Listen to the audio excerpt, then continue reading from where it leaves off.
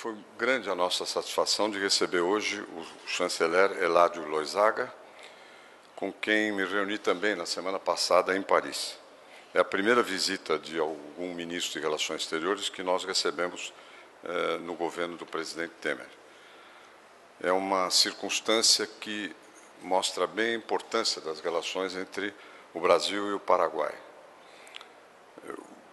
Aspecto esse que foi sublinhado na audiência do, que o presidente Temer eh, concedeu ao ministro, ao nosso visitante. As relações com o Paraguai, para nós, são centrais, fundamentais. Não apenas porque compartilhamos uma fronteira vasta, porque 300 mil brasileiros vivem no Paraguai, mas também apontando para o futuro. Muita coisa que precisa ser feita no Brasil ou no Paraguai pode ser feita de maneira mais eficiente, mais bem sucedida, dentro de um trabalho de cooperação. Nós aqui combinamos realmente dar um impulso grande à parceria comercial e à integração física dos nossos países. Este é um aspecto fundamental, a integração física. Assinamos aqui dois acordos, um de serviços aéreos entre Brasil e Paraguai, que vai facilitar o fluxo de passageiros e cargas entre os dois territórios, e eh, a conclusão das negociações para a construção de uma ponte internacional sobre o rio Paraguai, entre Porto Murtinho, que é no Mato Grosso do Sul, e Carmelo Peralta, que é do lado paraguaio. Essa ponte será fundamental para viabilizar a ligação rodoviária entre os portos de Santos, no Brasil, e de Iquique, e Antofagasta, no Chile. É, repito que a integração física com o Paraguai vai ajudar a integração dos nossos dois países e também ampliar a conexão interna dentro do Mercosul e do Mercosul com o resto do continente sul-americano. Nós vamos avançar em outras iniciativas, inclusive no que se refere ao potencial hidroviário na região. O Brasil e o Paraguai estão dispostos a aproveitar melhor, bem melhor, o potencial de circulação da bacia do Prata. E, eh, inclusive, tivemos conversações a respeito, eu mesmo, com o presidente Macri, recentemente na Argentina, que eh, encara esse projeto como prioritário. Quero lembrar que a dificuldade para a implantação plena da hidrovia, eh, tempos atrás, vinha principalmente da Argentina, em razão eh, das questões que envolvem legislação trabalhista. Pelo menos isso é o que era invocado pelo governo. Mas o novo governo argentino está disposto a superar esses problemas e a dar uma prioridade muito grande a essa hidrovia que pega uma pontinha da Bolívia, em Porto Soares, Paraguai, nosso Mato Grosso, eh, Uruguai Argentina de cada lado, e eu diria que talvez no mundo seja a hidrovia de maior potencial não explorado ainda, não obstante que já tenha uma grande movimentação. Quero lembrar que o nosso comércio exterior com o Paraguai é, é, teve um recorde histórico há dois anos, e caiu nos anos recentes, mas fundamentalmente em razão da depressão da economia brasileira. Mas essas são questões macroeconômicas de muita importância que, no entanto, eh, ao longo do tempo serão eh, superadas. Caindo a produção, nós compramos menos do exterior, com a mega desvalorização do real passamos a vender mais barato. Esse é um fator de perturbação que é normal em qualquer união econômica entre países, né, que são fatores exógenos, não dependem de decisões uh, do, dos diferentes governos. Agora, uh, vamos levar em conta também que o Brasil é o segundo maior investidor no Paraguai, ou seja, o maior estoque de investimentos estrangeiros no Paraguai, no estoque de investimentos estrangeiros, o Brasil eh, detém o segundo lugar. E muitas empresas brasileiras têm investido no país, no Paraguai, nos últimos anos. Eu creio que logo, logo o Brasil será o primeiro em matéria desses estoques de investimentos no país vizinhos.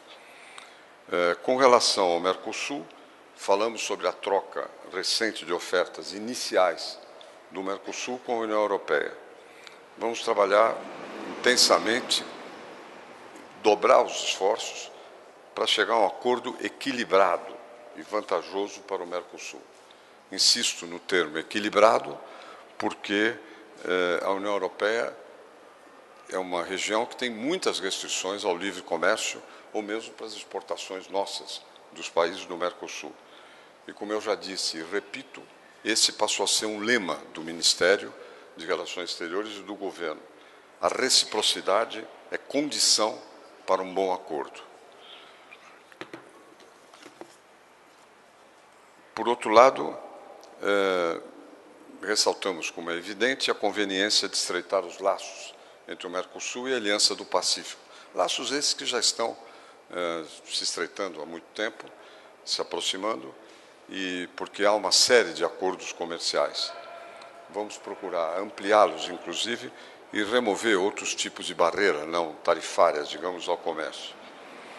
E um outro tópico que abordamos, que eu ressaltei ao chanceler Loisaga, é a necessidade de uma atenção muito especial às iniciativas de prevenção e combate ao contrabando, que tanto prejuízo causa ao comércio legal, à produção e à arrecadação tributária em nossos países. Há o narcotráfico e há o tráfico de armas, mas há também o tráfico ilegal de mercadorias. E nós, este governo vai dar uma importância enorme a isso, porque implica basicamente perda de empregos sem gerar receita tributária. É o pior que pode acontecer com uma mercadoria. Não emprega e não rende impostos mas isso implica uma ação bastante ampla, é, que não se restringe ao Brasil e ao Paraguai, que chega até o litoral chileno, que é uma região de entrada de muitas vezes de comércio ilegal em relação ao Brasil. É, nós concordamos bastante sobre a necessidade de fortalecer os canais de contato institucional para combater esses, que eu diria, ilícitos internacionais. E aí não é apenas o contrabando, evidente, mas o narcotráfico e o tráfico de armas. O reforço da segurança na região da fronteira é um tema absolutamente prioritário para a nossa gestão. É um tema que, enfrentado corretamente, com vigor, terá repercussões muito positivas para a economia dos nossos países e a segurança dos nossos cidadãos. Falamos também sobre temas da agenda regional, eh, particularmente a situação da Venezuela. O Brasil e o Paraguai, como todos sabem, acompanham com preocupação a crise naquele país, inclusive a deterioração das condições da economia, desrespeito a direitos humanos e eh, uma situação de carência que se estende, inclusive, a medicamentos. Há, em certos casos, eh, desabastecimento de 95% eh, de itens fundamentais de remédios para atendimento às questões de saúde estamos nós dispostos a contribuir para estimular o diálogo político naquele país, sempre com o intuito central de preservar a democracia e ajudar, é a nossa disposição também, no alívio do sofrimento da população. Como eu mesmo disse antes de ontem, eh, estamos dispostos, inclusive, a promover doação de medicamentos eh, básicos que são produzidos pelo nosso, pela nossa rede de laboratórios públicos como é o caso da Farmanguinhos, como é, da, como é o caso da FURP de São Paulo, enfim, temos uma rede de laboratórios públicos que produzem medicamentos básicos e podemos mobilizar uma quantidade substancial para ajudar a Venezuela, o povo venezuelano, preferencialmente fazendo isso através de organizações internacionais. E, por último, nós reiteramos o convite do presidente Temer para que o presidente Horácio Carter compareça em agosto aos Jogos Olímpicos. E estamos estendendo esse convite a todos os paraguaios que serão recebidos com alegria pelo povo do Rio de Janeiro.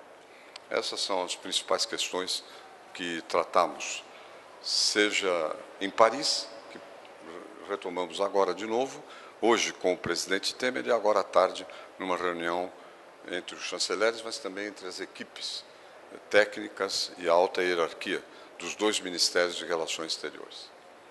Esse texto vai ser distribuído, mas várias coisas que eu improvisei, que isso vai estar também numa gravação.